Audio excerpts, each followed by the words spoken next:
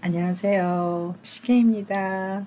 아, 오늘은 제가 음, 좀 전에 어, 완주님과 그 생일 파티를 했거든요. 그래서 랜선 생일 파티를 하고 어, 입었던 옷을 잠깐 보여드리고 음, 예, 그냥 이렇게 애프리코 색깔 그 드레스예요. 이렇게 속에는 이렇게 이런 식으로 어깨를 또 이렇게 해서 입을 수도 있고 이렇게 내려서 입을 수도 있지만 주로 이렇게 좀 저기 하면 이렇게 있고 약간 내려서 입을 정도는 이렇게 해서 또 입을 수도 있거든요. 그래서 이렇게 해서 이제 이렇게 숄로 이렇게 약간 가려주기도 하고요. 음, 신발은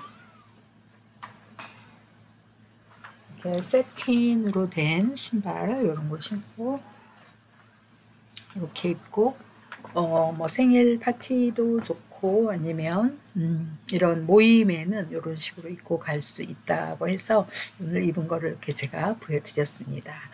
아, 너무 좀 야해서 제가 어, 어떻게 할 수가 없네. 그래서 일단 이렇게 보여드리면 어, 이걸 빼고 해야 되겠다.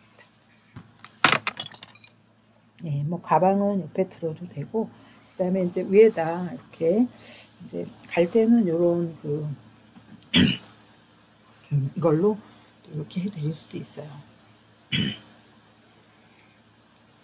All my foreign friends, I'm just introducing. I have some Lanson uh, birthday party, so I wear some the apricot color dress with some shawl like this, and my shoes was uh, satin dress shoes.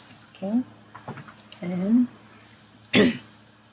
when go out maybe you can have some jacket like this some lace kind so so this is uh, I'm just introducing my dress 예 그래서 오늘은 제가 생일 랜선 생일 파티 입었던 옷을 소개시켜 드리면서 영상은 여기서 끝내겠습니다 감사합니다 아, 자켓은 만약에 이거를 요거만 입고 나갈 때는 이렇게 이렇게 이렇게 해서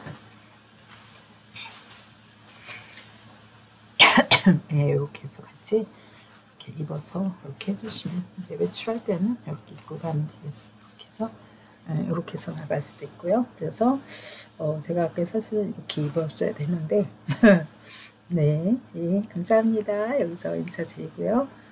어, 다음에 뵙겠습니다.